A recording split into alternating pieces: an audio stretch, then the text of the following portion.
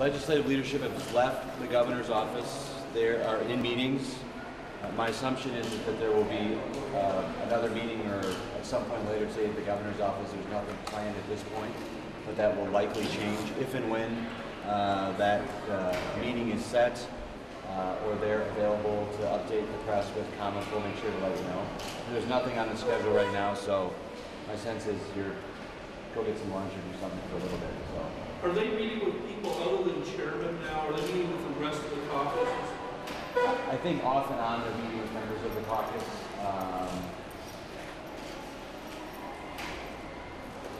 you have, you don't have an overall caucus meeting scheduled? There was a caucus meeting this morning.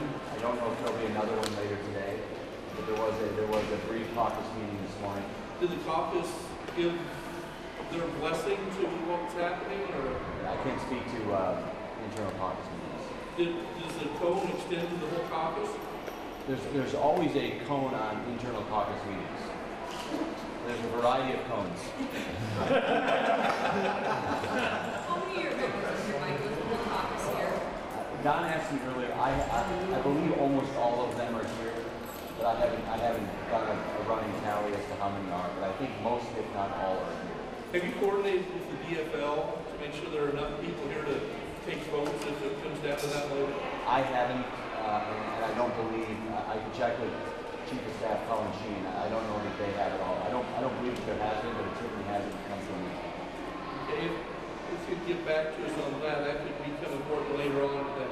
Absolutely. I don't know if Bo is, if Bo Berenson is here, Bo might know the answer to that. Michael, can you give us an idea why um, Senate Majority Leader and Speaker Martin coming and actually briefing reporters on what's going on? I, just think it's a, uh, a matter of wanting to be extra careful about respecting the, uh, the cone of silence and keeping, making sure that there's, there's good progress being made. I think it's difficult sometimes to, to, to speak and, and I think they're just trying to be extra careful as we're getting closer and closer to uh, a government shutdown that, uh, they're, they're keeping their comments as limited while working as hard as they can with the governor on averting a government shutdown.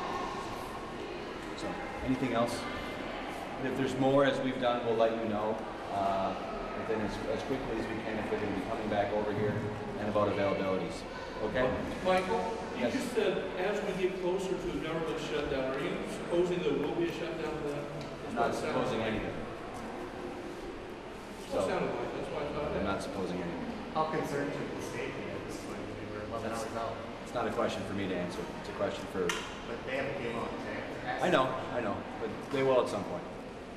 So, We do expect they'll, able to speak to us at some point today. I would, be- yes, I my expectation is that, my expectation is at some point legislative leadership, uh, will, will speak, uh, in full form, in full presence of the the press at some point. All right? Thank you, everyone.